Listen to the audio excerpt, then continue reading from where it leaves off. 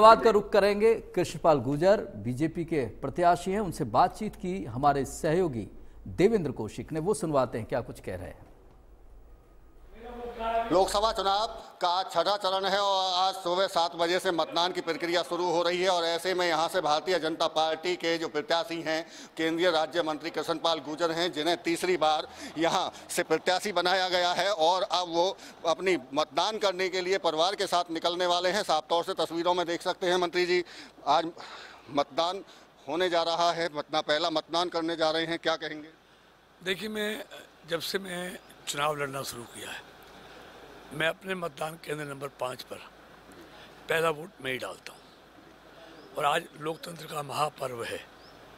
तो उसमें सारे परिवार के साथ वोट डालने के लिए मैं निकला हूँ और पहला वोट मैं मतदान संख्या पाँच पर तिगाम विधानसभा क्षेत्र में डायनेट्री इंटरनेशनल स्कूल सेक्टर अट्ठाईस में। अभी वहाँ वोट डाल रहा हूँ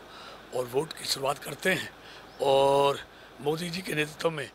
ऐतिहासिक विजय भारतीय जनता पार्टी और एनडीए को मिलेगी ऐसा दृढ़ विश्वास।